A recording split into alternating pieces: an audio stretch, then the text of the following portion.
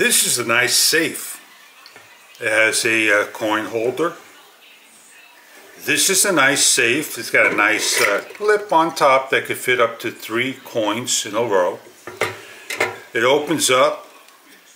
The safe is just a spin to lock it, nothing else. And if you want to lock it, you use the supplied keys that they give you. A little tray for the coins only.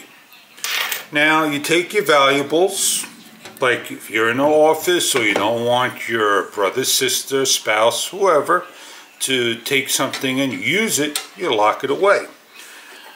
This is your coin holder. On top, you can see over here where my thumbs are pointing, it goes on top like so. And you want to make sure you get it on there 100%. And there you go.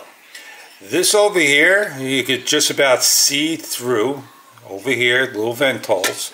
And you basically lock it up. Take the slide key. And you're going to put it in. Lock it. And you can't open it. Turn it this for extra security.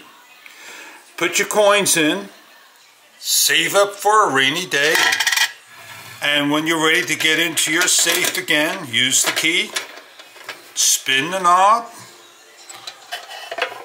take your change out, and get into your jewelry, privates, whatnot, and there you go.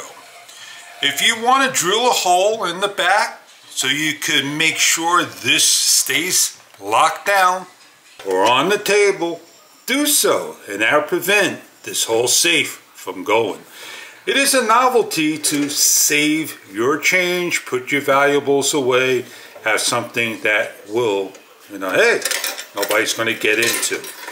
Comes in black, pink, and white. Hope you enjoy your product if this is right for you.